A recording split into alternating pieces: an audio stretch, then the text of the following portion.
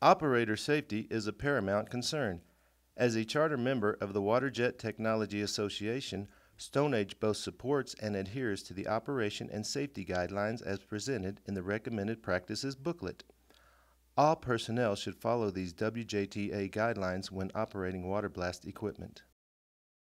In this exercise, we will cover the maintenance procedures for our SpinCat 287. The SpinCat line features downhole tools for cleaning coil tubing units. The SC287 model features operating pressures up to 5,000 psi and flows from 1 to 3 barrels per minute. Reviewing the main components of a SpinCat 287, we have the head, the gland, note the carbide ring,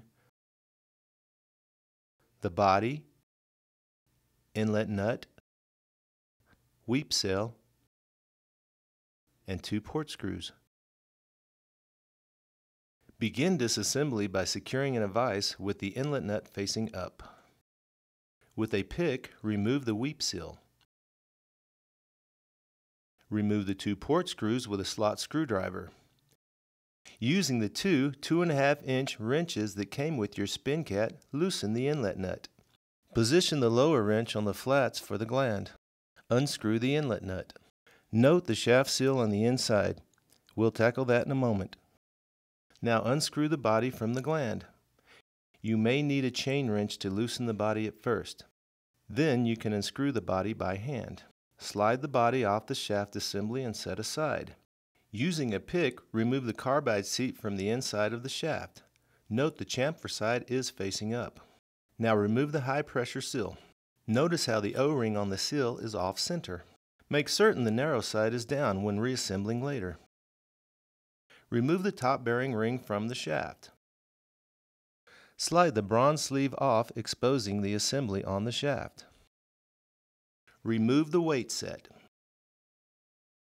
Note the three notches in the weight set match the three posts on the hub. Now remove the hub and spring together. The spring has special ends that fit into the notches on the hub and the collar. With the spring off the shaft, separate the end from the hub. You can also see here where the second spring end fits into the notch in the collar. Remember this when reassembling. Unscrew the collar halves with a hex wrench. Note, the relieved groove on the collar faces up. The spring rests on that groove. Pry the collar halves apart with a slot screwdriver. Remove the two collar halves and set aside. Remove the two bearing rings and set aside for cleaning.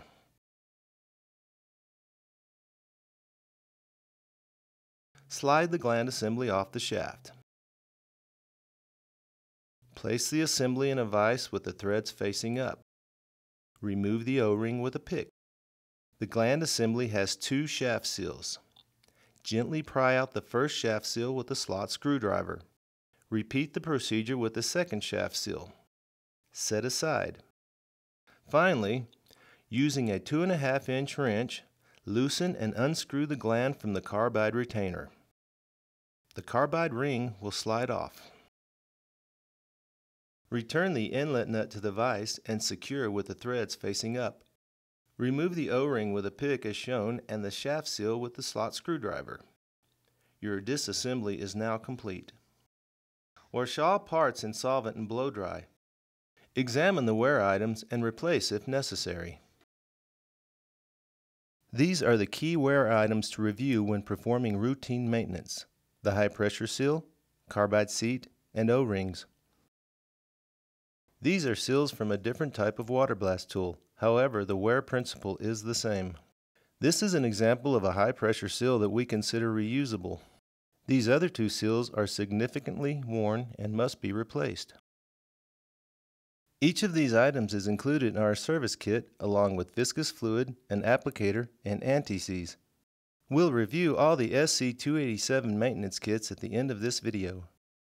Begin the reassembly process at the press, where you will install the shaft seals and O-rings in the gland assembly and inlet nut. For all of our shaft seals, we recommend using P80 Grip-It or a similar lubricant for installation. Begin with the gland which has two shaft seals.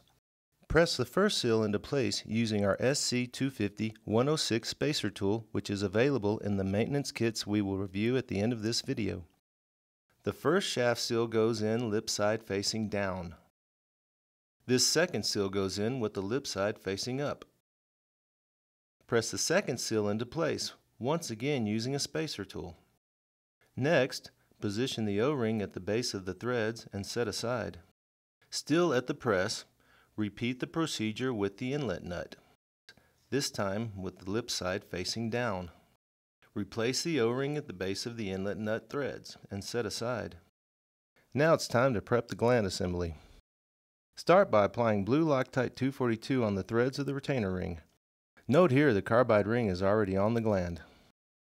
Now screw the retainer ring into the gland. Secure in the vise and tighten with a 2.5 inch wrench. Your gland assembly is now ready for placement on the shaft. Secure the head shaft in a vise. Grease the shaft seals in the gland and at the same time apply grease to the shaft itself. Now slide the gland onto the shaft. Next, put the two bearing rings on the shaft. One more thing to note. There are three bearing rings on the shaft assembly for the SC287. Two have the same inner diameter and one is slightly narrower. Stack the two wider ones at the base of the shaft and place the narrower one at the top. The collar goes on next. Place the two halves around the shaft and join together with the Allen screws. Use a hex wrench for this step and be certain to tighten the two halves evenly so the gap is the same on each side. Note the relieved groove on the collar faces up. Attach one end of the spring into the hub as shown.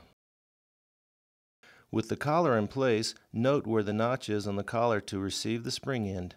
Now slide the spring onto the shaft with the hub end facing up. The bottom end of the spring will fit neatly into the notch in the collar as shown. Match the three notches in the weight set with the three posts on the hub. Now place the weight set onto the shaft. Slide the bronze sleeve over the assembly. Replace the last bearing ring on the top of the shaft. Before we put the body over the assembly, we'll reinstall the high pressure seal and carbide seat. Grease the seal generously and note the narrow end of the seal goes in first. Press the seal into the shaft far enough to leave a 1 16th inch recess as shown.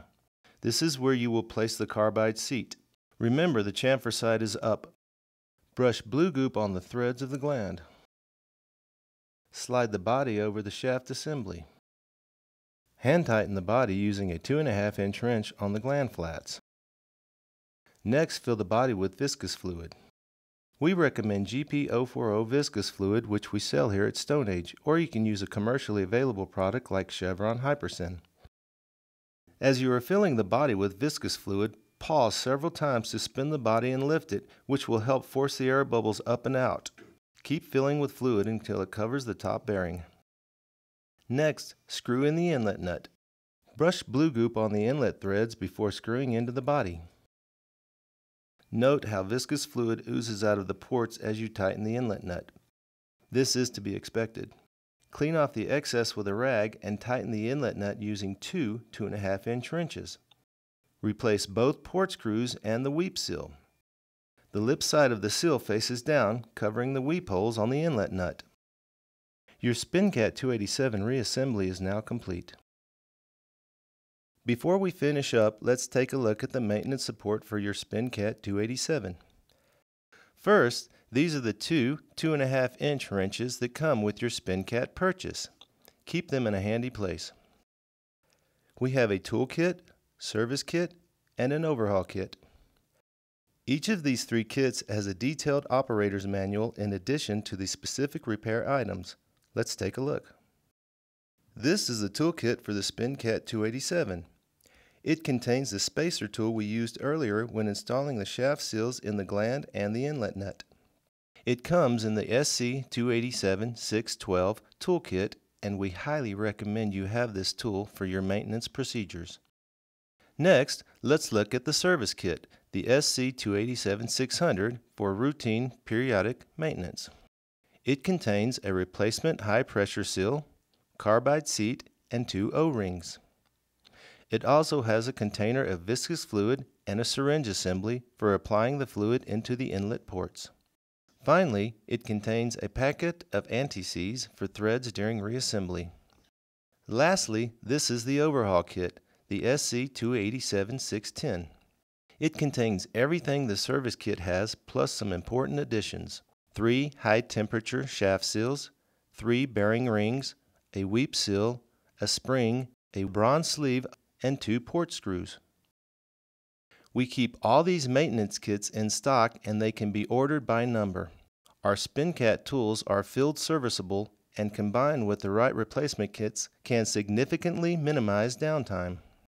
Thanks for watching and remember our customer service specialists are always on hand to answer any technical questions you may have.